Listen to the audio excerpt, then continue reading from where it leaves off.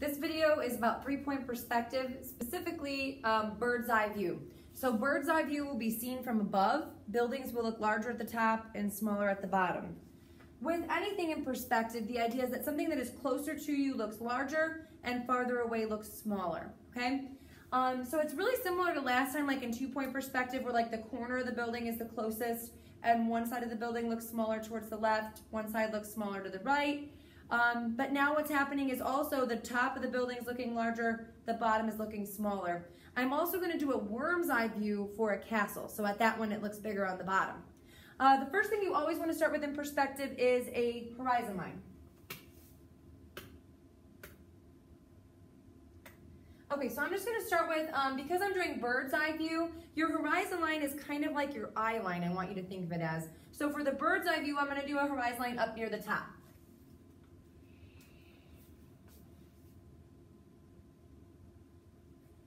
Okay, there's my horizon line. You want to make sure and put two vanishing points on the end of this line.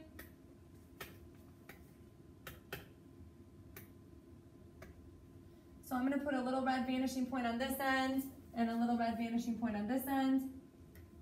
Make the sky a little bit bigger.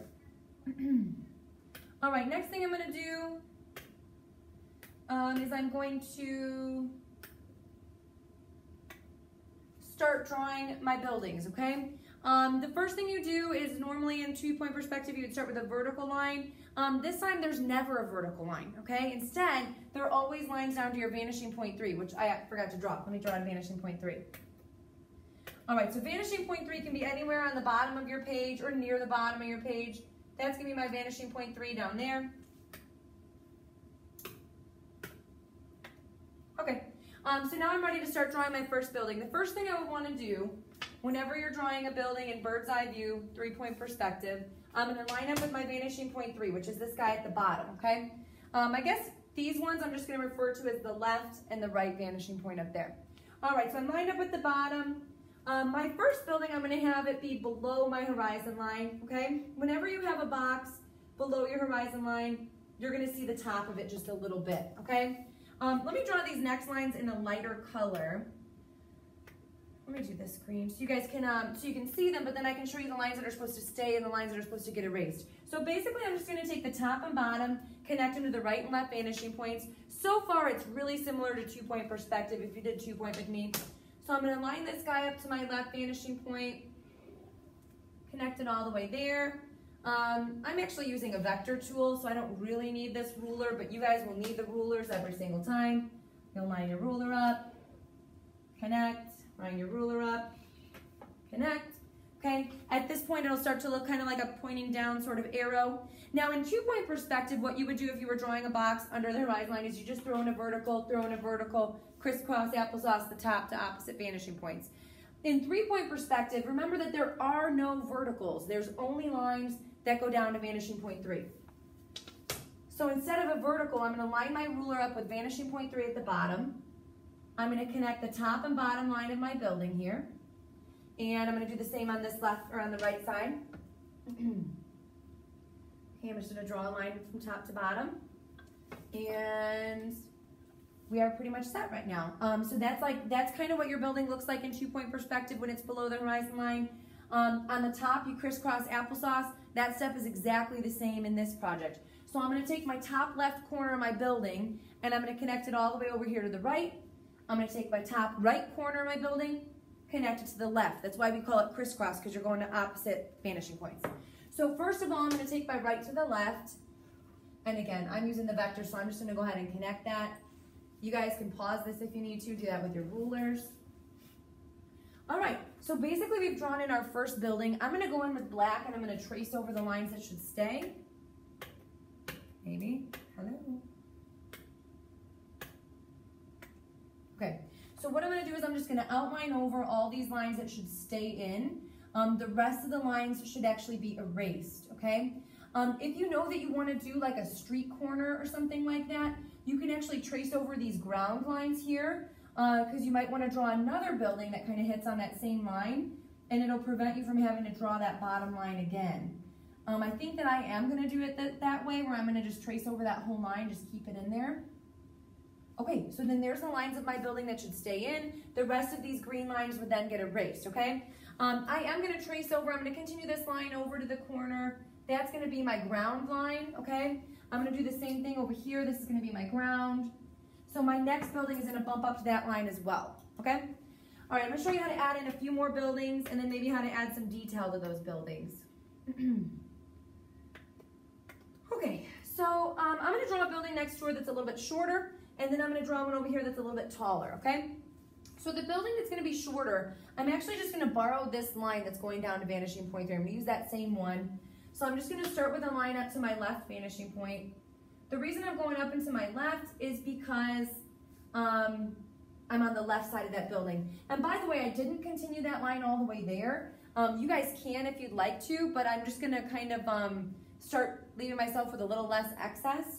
Um, this guy should go down to vanishing point three. Again, this would normally go all the way down there, but since I know I'm not gonna have my building extend all the way there, I'm just gonna stop my line there. But if that line continued, it would continue all the way to vanishing point number three, okay? Um, the last thing I'm gonna do is I'm gonna take that corner that I just created and I'm gonna take it to my opposite side vanishing point. So since I'm working on the right, oh sorry, I think I was saying left earlier. Since I'm working on the right, I'm gonna take him to the left. this guy's gonna go to the left. It just happens to hit like right underneath where that building hits. Um, then I'm gonna trace over that building in black so you guys can see it a little bit better. All right, I'm just gonna outline this guy.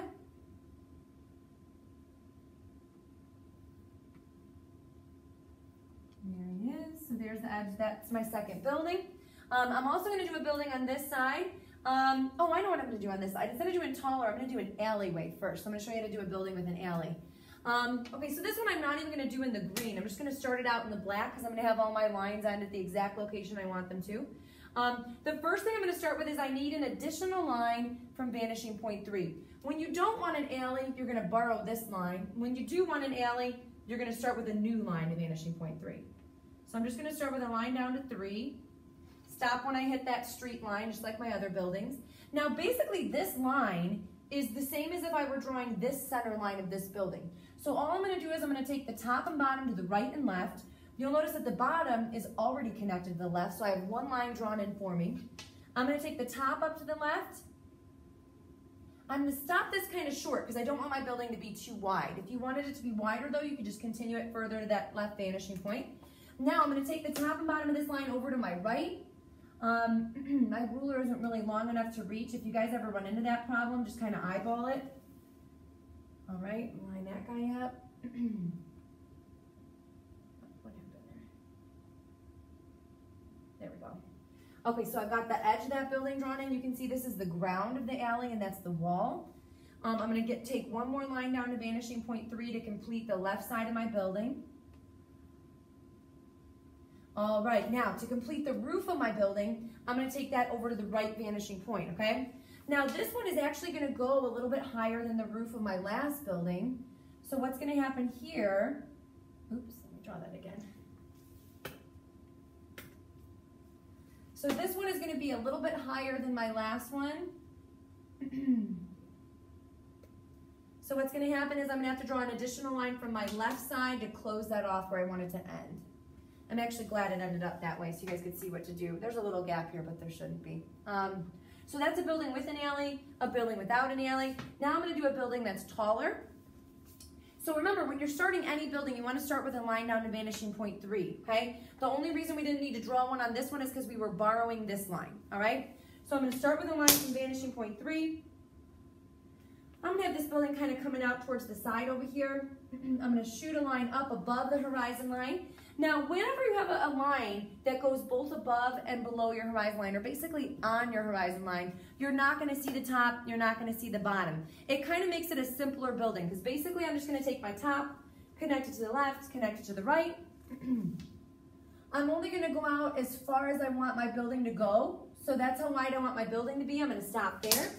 On this side, I'm gonna go a little bit narrower, Okay, and then I'm just gonna do two lines down to my bottom vanishing point. Remember, there are no verticals, so get the word vertical out of your brain, okay? There are only lines to vanishing point three, okay? Let me draw one on this side here. Okay, so that's a building back that way. Um, if that building by chance like hit over the side of the building and came down here, like let's say I drew a building right here and it came down, I would have to then take the bottom over to the left vanishing point here. So you'd have to like draw on kind of like both sides of that building. You just see more of it is all. Um, I'm going to go in and draw